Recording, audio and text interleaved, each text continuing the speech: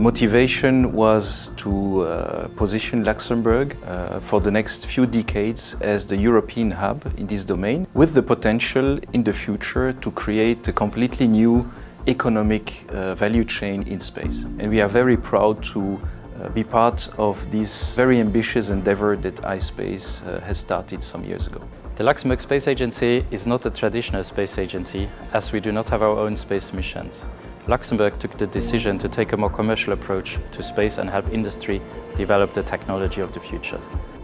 We want to develop the space economy that will enable the development of activities in space. And so that's why we're developing a transportation service from the Earth to the Moon to bring cargo from customers who want to uh, be active in uh, lunar exploration. As iSpace Europe, our role is to provide the services to the European community. We develop what's called lunar rovers, which means mobile robots that can take cargo and drive them on the surface. In Luxembourg, people say, let's make it happen. At iSpace, we say prove by action. Tenacious is a small lunar exploration rover. It's quite small, it's about five kilograms, uh, about 35 centimeters long. So we designed this to be a very small rover that we can take on our lander uh, and explore the landing site. Basically, we'll have operators here in Luxembourg uh, driving the rover. We'll continue this line of micro rovers, obviously with different payloads, different capabilities, depending on the mission. So we would plan to fly those on future iSpace missions. There are many resources of interest on the Moon. We can use the oxygen and metals that are present in the dust that coats the surface of the Moon, and we're also interested in the water ice that's present in the permanently shadowed regions. This is important because we can use these resources to support human life, we can use it for rocket propellant, and this will allow us to support a future of sustainable space exploration.